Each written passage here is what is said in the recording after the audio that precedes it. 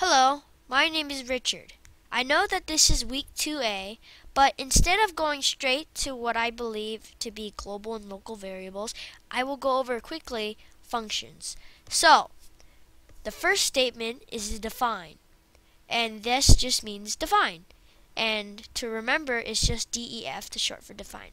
Next, I'm going to make a function, and the name of the function is going to be function.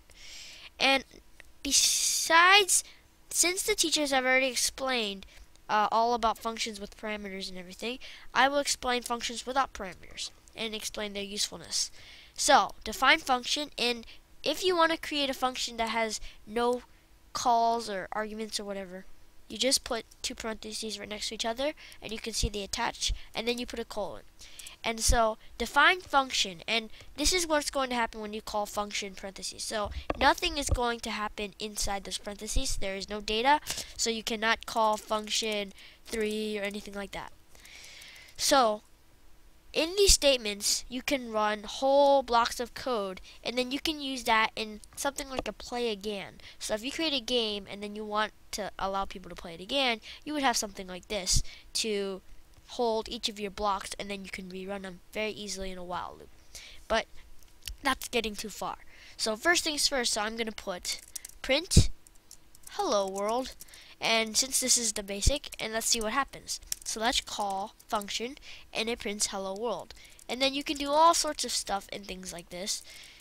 Print 3 plus 3 equals 6 and then you call it function and be careful you don't try to call it when the arrows are not there, otherwise you will get a syntax error and you have to redo it all over again. So now that we've gone over functions real quickly, I will quickly go over local versus global variables. Now the teacher did a really great job explaining everything about them, but I'm just going to say something that I believe to be true. So, in a function, just say define function, and you say num1, just like the teacher said, equals to 1. So I think of this as this variable is inside the function. Inside the function is not accessed until you call it, and when the function is called, it's gone.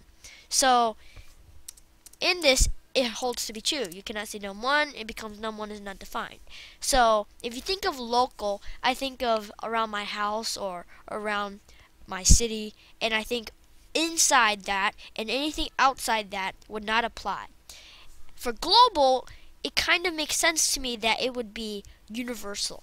So when you say tree equals 5, and you can call tree anytime, you can call tree now, tree now, define function, tree, well, I should say print tree, and now becomes function 5, and so I think of it as global, and that means everywhere.